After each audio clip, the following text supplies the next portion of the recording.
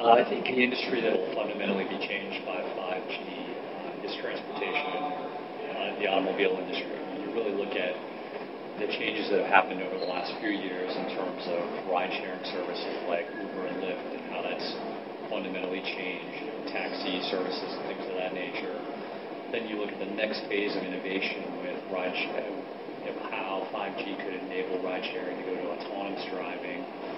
Autonomous driving could also fundamentally change the transportation industry with trucking, uh, enabling platooning and things of this nature that will help drive costs and more efficiencies in those in, in those particular areas. And then 5G can also help with traffic management systems when you start to get into the IoT types of applications for smart cities and um, and really change and have an impact on the efficiencies that we have with, with uh, driving and, and, navigating around cities and traffic. I think some of the um, areas that operators can drive additional revenue beyond fixed wireless access and eventually when we get to mobile networks uh, in the, the, near term be things like uh, IoT-based applications for smart city enabling, and they can use their fixed wireless access networks that they're deploying or their mobile networks to um,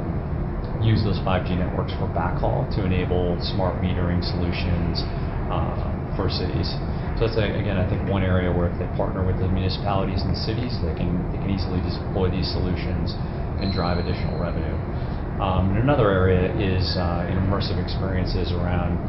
uh, where they're likely to deploy some of the first 5G networks for density and capacity in stadiums and arenas. Uh, and those operators that have potentially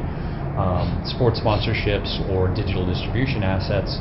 could leverage um, those uh, that in-stadium experience to extend content,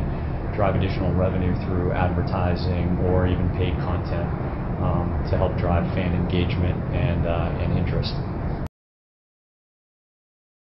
Samsung sees a variety of use cases emerging beyond fixed wireless access and, and mobile network deployments